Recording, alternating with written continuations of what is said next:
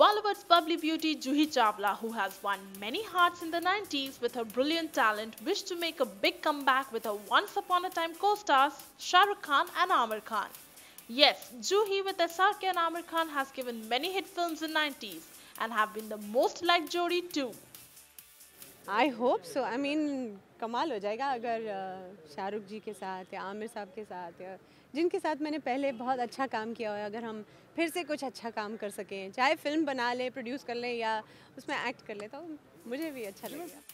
जो he is very much interested in doing a film with S R K Namir but on the other hand S R K Namir are busy with young co-stars like Deepika and Kareena Bit weird to say, but SRK and Aamir are still ruling the A-list brigade, but heroines like Juhi and Madhuri have lost their stage charm. Even Juhi's fan would love to see the evergreen Jodi back on big screens. But is it possible? What do you think?